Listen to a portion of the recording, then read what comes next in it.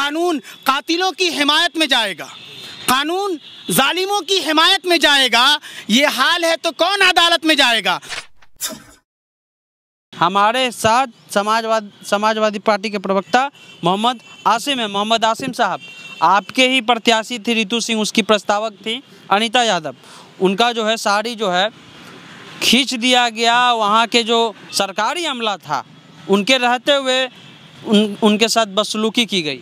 अभी आपने देखा ही होगा, पूरा देश जान रही है कि उत्तर प्रदेश का चुनाव अब करीबी आने वाला है। तो उसको देखते हुए बीजेपी के अंदर इतनी छटपटाहट है कि उसको नहीं, पूरे देश को पता है कि ये सपा के आने की आहट है और बीजेपी से पूरा देश ये भी वाकिफ़ है कि पहले कहा जाता था कि बीजेपी भारतीय जनता पार्टी, लेकिन लोगों ने, और ख़ास करके लालू जी वगैरह के अल्फाज निकले कि बीजेपी का मतलब भारत जलाओ पार्टी। हाथरस की घटना हुई तो बीजेपी का मतलब पढ़े लिखे लड़कियाँ, लड़के ने लगाया कि बेटी जलाओ पार्टी।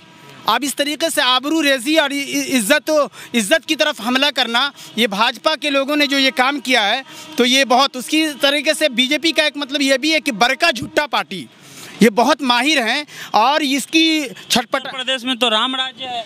रामराज तो वही मैं मैं उसको एक शेर के मानी आप ले जाएँ कि बिल्कुल उत्तर प्रदेश में योगी जी भी और मोदी जी भी कहते हैं कि रामराज और अमन शांति बना हुआ है। मैं अपनी एक रुबाई के माध्यम से कहना चाहता हूँ कि भाजपा के लीडर लगाएँ अमन के नारे जगह जगह। भाजपा के लीडर लगाएँ अमन के नारे जगह जगह। नज़रें कभी तो डालिए हालात पे ज़रा। अरे जन्नत निशा बनेगा यकीनन हमारा देश। काबू तो पा के देखिए, फसादात पे ज़रा। काबू तो पा के देखिए, फसादात पे ज़रा। या ऐसी आबरू रेजी और इज़्ज़त को तार तार कर रही है हमारी माए बहनों की तो ऐसे मौके से, इस इस मौके से भी वहाँ की पुलिस नाकाम होती है। मैं यूँ कहा करता हूँ कि पुलिस ने बनाया है कानून नया अपना। पुलिस ने बनाया है कानून नया अपना। अरे रिश्वत की जगह हफ़्ता ये खूब कमाते हैं। रिश्वत की जगह हफ़्ता ये खूब कमाते हैं और मासूम को ये अंदर और मुजरिम को करे बाहर। मासूम को ये अंदर और मुजरिम को करें बाहर, यकतरफा तमाशा ये हर रोज़ दिखाते हैं। एक तरफा तमाशा। उतना लंबा हम नहीं जाएँगे। हम आपसे ये पूछना चाहते हैं कि आपकी प्रत्याशी थी सपा की रितु सिंह उसकी प्रस्तावक थी अनिता यादव। अखिलेश यादव कहाँ है? कहाँ अखिलेश यादव? कहाँ एक वो सड़क पे आए हैं कि भाई महिला के साथ इस तरह व्यवहार किया गया? नहीं नहीं आपने नहीं देखा होगा बल्कि टीवी स्क्रीन पे भी आप जाके देख लें। इस तरीके से समाजवादी पार्टी के पूरे कार्यकर्ता और उसके बाद आम इंसान जो देश से और वो इंसानियत जर्रा बराबर भी रखता हो वो उसकी रूह काँप उठी है और वो भी ये चुनाव को देख करके और वो बिल्कुल सपा चुनाव पे बात नहीं करेंगे सर। हम चुनाव पे बात करने नहीं आए हैं यहाँ। यहाँ बात है एक महिला की। वो अंदर जा रही थी। किसी कारण अंदर जा रही हो हो सके वो समर्थित थी ठीक है पार्टी की।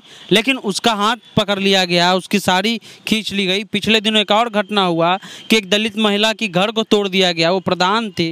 तो क्या हो रहा है? नहीं नहीं सपा आप विपक्ष कहाँ है? नहीं नहीं सपा के साथ जो ये हो रहा है सारी पार्टियाँ के साथ साथ जो नज़र रखने वाली है और इंसानियत ज़रा भी है, वो भी। और हमारे अखिलेश यादव जी खसूस नज़र रखे हुए हैं। मैं भी टीवी स्क्रीन पे देखता हूँ। उन्होंने भी पूरा ये लिया है, खिंचाई किया है। अब ये है कि कानून और पुलिस का भी काम है कि वो सही माने, जो जो दोषी हैं, उसको पकड़े, उसे अंदर करे। और रामराज जिस तरीके से आपने कहा, योगी जी वाकई हैं तो कर कर दिखाएँ, उनके हाथ में सत्ता है। हमारी माए बहनें, चाहे वो जिस धर्म की हो, जिस जात की बात की हो, हमारे हिंदुस्तान की है, हमारे भारत की है, और ये इज़्ज़त अगर तार तार करने की कोशिश की है अब पुलिस और वहाँ की रामराज जो कहती है सरकार, वो एकदम नाकाम है। पूरी दुनिया में जो ये गई होगी मैसेज, कितना ख़राब गया होगा। आप यकीन मानिए कि अगर नहीं सुधार लाएँगे, और फिर इतना ही नहीं, मैं तो कहता हूँ कि हाई कोर्ट हो सुप्रीम कोर्ट भी उस पर संज्ञान ले और इस तरीके से नज़र रखे। वरना ऐसा ना हो कि सुप्रीम कोर्ट की तरफ़ से भी जो बहुत सारी चीज़ें आती हैं कि कानून कातिलों की हिमायत में जाएगा। कानून जालिमों की हिमायत में जाएगा, ये हाल है तो कौन अदालत में जाएगा? तो अदालत को भी चाहिए कि इस पर सरा, ये सरासर जो ये बदतमीज़ी हुई है, उस पर कड़ा एक्शन ले और फैसला ले और योगी जी जो सरकार में है, उसे भी चाहिए कि वो पुलिस के ज़रिए से जो जो दोषी हैं, उसको कड़ी से कड़ी सज़ा दी जाए। हमारी समाजवादी पार्टी की ये मांग होगी और हमको लगता है आम जनते की भी ये मांग होगी। अच्छा ए, एक एक चीज़ हम आपसे ये जानना चाहते हैं कि आपकी जब सरकार थी सपा की सरकार थी लगभग सत्रह तक आपकी सरकार रही अखिलेश यादव मुख्यमंत्री रहे तो आपके सरकार को गुंडा राज कहा जाता है? नहीं वो तो आप या, आप यकीन मानिए कि देश में सपा सरकार और अखिलेश यादव ही एक ऐसा चेहरा है। मैं यूँ कहता हूँ, सूरज के मानिंद है और चाँद के मानिंद है। मैं एक रुबाई सिर्फ़ उनके हवाले से कहना चाहता हूँ, क्योंकि कहने वाला जो कह रहा है नहीं, बल्कि आम जनता से आप मालूम करें तो ये शेर, ये रुबाई हमारे राष्ट्रीय अध्यक्ष अखिलेश यादव जी पर पूरा सटीक बैठता है। वो ये है कि भलाई चाहने वाला हर एक इंसान का, जहाँ भी रहता है, आली मकाम रहता है। भलाई चाहने वाला हर एक इंसान का जहाँ भी रहता है, आली मकाम रहता है और उसी के गिर्द हजूम आवाम रहता है। उसी के गिर्द हजूम आवाम रहता है, मुआशरा में जो शीरी कलाम रहता है, मीठी जबान रखता है तो आप यकीन मानिए कि सपा की सरकार ए टू जेड, यानी जितने भी जात पात के लोग हों और जितने भी हिंदू, मुस्लिम, सिख, ईसाई खसूस ये सबों को लेके चलने वाली पार्टी है और लेके आगे बढ़ी भी है। अखिलेश यादव का एक ऐसा चेहरा रहा है और उनके वालिद साहब तारीफ़ नहीं कीजिए सर आप अपने पार्टी की जो महिला उसको तो सुरक्षित नहीं कर पाए क्या आप तारीफ़ आप ये बताएँ कि सारे लोग खड़े हैं और बड़ा अखिलेश यादव जी की भी उस पर नज़र है और इस तरीके से कानून को भी चाहिए कि सही दिशा पे अपना काम करे वरना सरकार के अगर पट्टू बना रहे तो फिर इस कानून के लिए तो पकड़ फिर इसकी सरकार एकदम खिंचाई होगी और आप लोगों का दायित्व बनता है कि वो आगे आप पहुंचाएँ वरना आप यूँ समझिए कि बहुत सारे मीडिया पर से जो विश्वास खत्म हो गया है वो ना हो और आपका खसूस आपकी ये मीडिया जिस तरीके से भारत में एनडीटीवी को देखा जाता है, उसी तरीके से आपके सोशल मीडिया के वर्क से पूरा हिंदुस्तान देखता है। तो मैं ये आपकी तरफ़ से, आपके चैनल को ये दे रहा हूँ कि बिल्कुल आप भी आवाज़ दें और ये कानून अपना काम करे और सरकार भी उसकी तरफ़ अच्छे से काम करने दे। अब पुलिस वाकई जो जो दोषी है, उसको गिरफ़्तार करे, क्योंकि वाकई हमारी कोई भी, हमारी माँ बहनों की इज़्ज़त है और उनकी इज़्ज़त को जो इस तरह तार तार किया गया, ये शर्मसार से, पूरी इंसानियत शर्मसार है और सर झुका डाली है उत्तर प्रदेश में योगी आदित्यनाथ मुख्यमंत्री हैं। अगले वर्ष चुनाव होने वाला है। पंचायत चुनाव हुआ और हर जगह हिंसा हुआ है पंचायत चुनाव में। आपको बता दें कि महिला थी, प्रस्ताव, प्रस्तावक थी, कोई महिला प्रत्याशी थी रितु सिंह, समाजवादी पार्टी की।